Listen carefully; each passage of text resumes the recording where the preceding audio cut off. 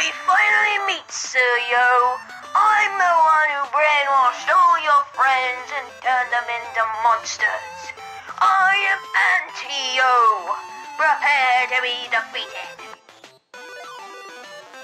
Darn you, I'll be back.